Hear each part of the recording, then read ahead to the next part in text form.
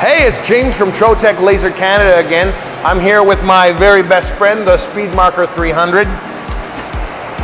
You know what we got in here? We got a rotary tool to operate with the Speedmarker. You've seen me operate the Speedmarker with the, just a flat stock, but now you know what?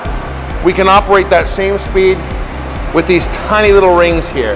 Now these rings could be something industrial, they could be just a shaft or a bar that we're gonna engrave on, but you know what? Today I'm gonna show you guys how to engrave on the inside of this ring. What it's gonna do is it's gonna give you guys who actually have these things and operate them in your shop, it's gonna give you the ability to expand your market. Now, with this thing, we actually can engrave the insides of rings. Watch me do it, it's gonna be so simple. I'm just gonna pop this ring into my rotary tool just like this.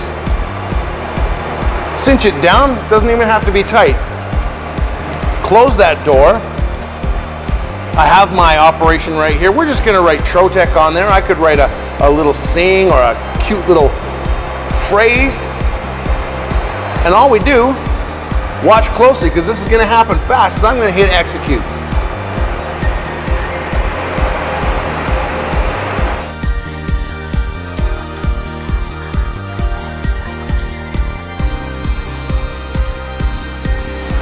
Come on, like that wasn't easy.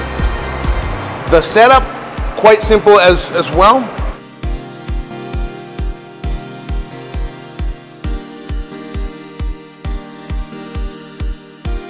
Thanks for watching this video. Uh, please subscribe to our YouTube channel and please leave your comments below.